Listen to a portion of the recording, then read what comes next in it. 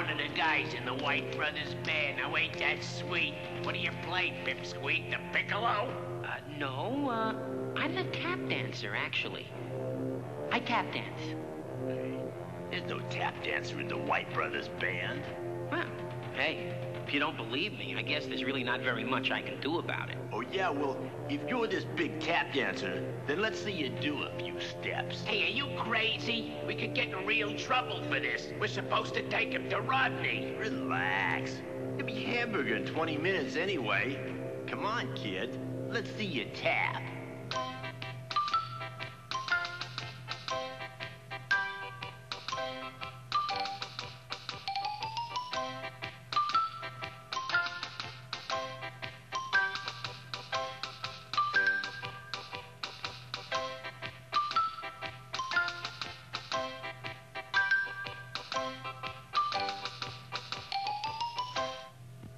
You know, the kid's not too bad.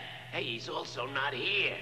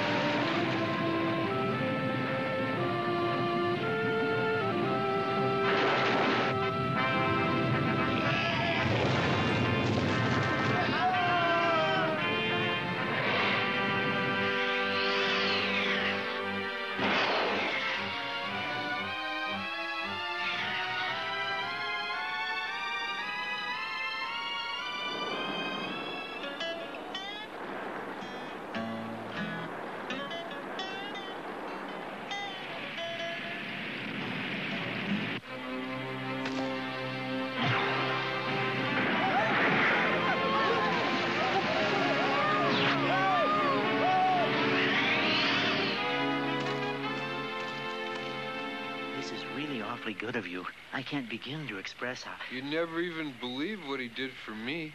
I mean, I was a goner. I was really. You must be exhausted. Why don't you come over here by the fire and rest for a few moments and get warm? Uh, warm, huh? Uh, no, no, I, I've got to save the White Brothers. They're one heck of a band. And, uh, by the way, ma'am, uh, there is no fire. But maybe you could get one going.